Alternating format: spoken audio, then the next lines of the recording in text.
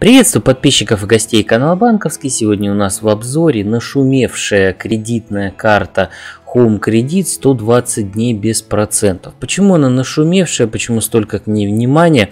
Ну потому что данная карта предлагает просто шикарные условия в принципе, я, наверное, затрудняюсь сказать, э, какой продукт может с ней конкурировать на рынке в настоящее время, потому что здесь собрано, ну, можно сказать, все самое лучшее.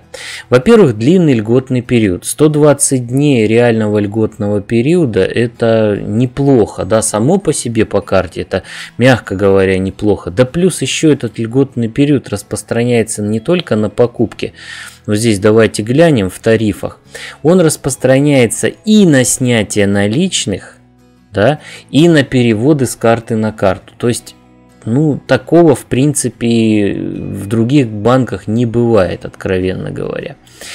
Далее, получается, процентная ставка минимальная, но она, конечно, не для всех такая, там диапазон приличный, там с 10 до 33 примерно, но все-таки возможность получить ставку от 10,9% годовых, это дорогого стоит. То есть хорошие клиенты Home Credit могут получить карты и даже если они не уложились в длинный вот этот льготный период, они могут получить небольшую процентную ставку и спокойно выплатить этот кредит. До 700 тысяч рублей лимит кредитования, то есть э, прекрасный вариант, потому что есть э, интересные кредитные карты в других банках, там можно прям сходу привести несколько примеров, но у них кредитный лимит там 300 тысяч. То есть, ну, естественно, не всех это устроит далеко, потому что не все тратят мало по картам. То есть, а некоторые используют их только исключительно для крупных покупок. Ну, а крупную покупку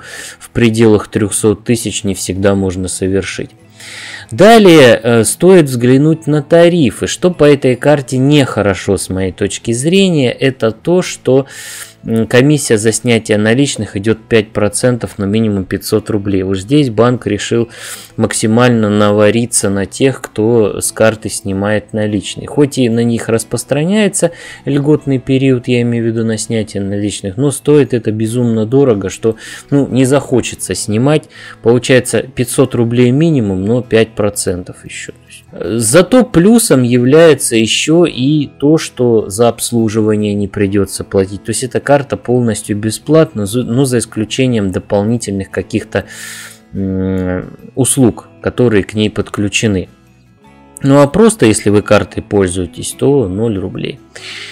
Что еще здесь можно посмотреть? Ну, максимальная процентная ставка до 31,5 0,5% годовых. Может быть и многовато на первый взгляд, но вы посмотрите на максимальные процентные ставки по другим кредитным картам.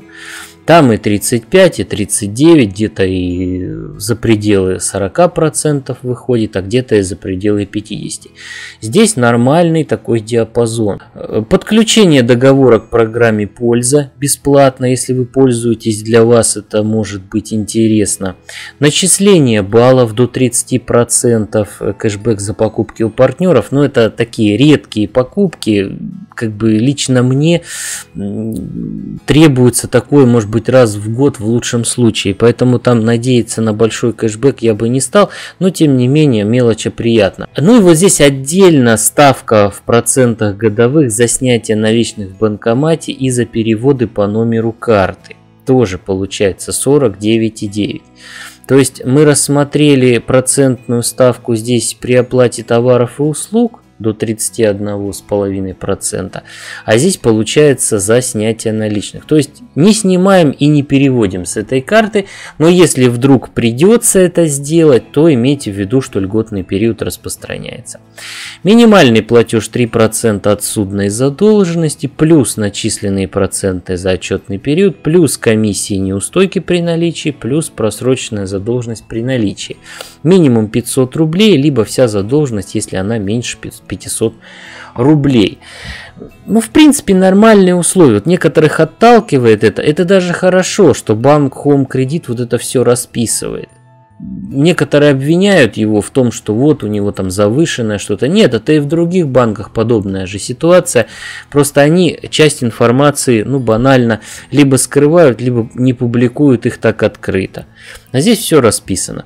СМС-пакет здесь дорогой, сразу говорю, никто не скрывает 99 рублей в месяц при совершении одной или более операций в расчетном периоде, первый месяц бесплатно. Подключение договора к программе «Финансовая польза» 199 рублей в месяц, но опять же надо проанализировать, надо вам это или не надо. Комиссия за перевод по номеру карты 5% минимум 500 рублей, так же как и за снятие наличных. Требования к заемщику тут расписаны. Э, кстати, обратите внимание, что здесь возраст, возрастной диапазон расширен по сравнению с другими банками. То есть карту можно взять от 18 и до 70 лет на момент заключения договора. То есть если вы в 70 лет успели ее взять, можете ей пользоваться пожизненно и радоваться. Трудовой стаж на последнем месте работы не менее трех месяцев, ну и паспорт нужен. Здесь расписано, что такое беспроцентный период. Если это ваша первая карта, вы можете посмотреть, почитать, изучить. Тут все понятно. Я не хочу на этом заострять внимание, потому что, ну, понимаете, видео будет раздуто, тем более, что это целая отдельная тема для разговора по поводу тактики использования кредитной карты.